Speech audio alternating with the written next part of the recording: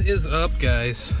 And welcome back to the channel. I was hoping to finish up the Cultipacker project today, do the final assembly on it, but I got a call and we got a special delivery we have to go pick up. So I'm gonna take the trailer down, go pick up this special package. You guys will see when we get there. Um, should be a big benefit to our deer hunting season. So We'll see you.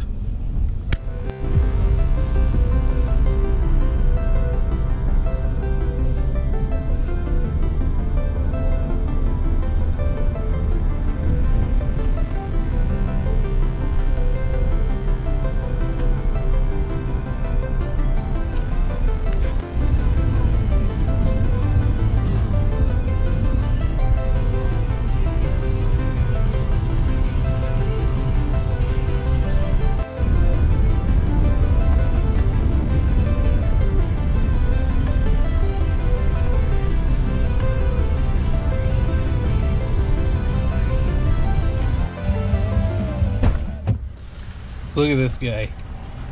Really? Right away. I have no affiliation with him. That's probably a good thing. Just dropped Mike off so that I don't have to drive back down here, but we got the load in tow. I'm pretty excited about this. Should make for an interesting season, and I'm kind of interested to see what effect it has on the deer herd, so stay tuned. I'll let you know a little secret we got.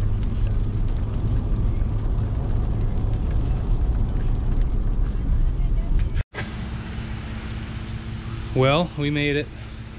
So I'm about to reveal it. Pretty excited about this, so. We've got two pallets of deer feed. And not just any deer feed, monster meal. We got their attractant and their feeder pellets, loose mineral, mineral blocks, protein blocks, and I think some protein feed too. So Mike's coming to help unload, so I'll let him talk about it a little bit more when he gets here, but we're gonna get this trailer unloaded. As you can see, it's raining here in Iowa, so don't want it to get wet.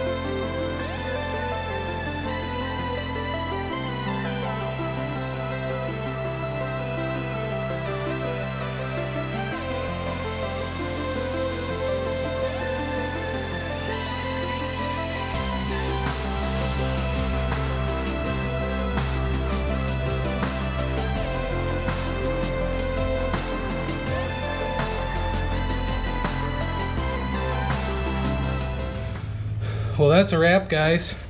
Sorry the lighting's not the best in here. Try and get under the light. But two pallets unloaded by hand. About 4,000 or 4,000 pounds worth of feed. I'm whipped, but you can see what we got. A couple stacks of attractant, a couple smaller stacks of loose mineral, a couple stacks of protein or uh, mineral blocks, and then a bunch of the protein blocks. So stay tuned this summer. Uh, we're gonna start running cameras probably in June once they start getting some decent sized velvet antlers. Um, we're gonna get the feed out as soon as we can and I think it's gonna work awesome. So stay tuned to see the results.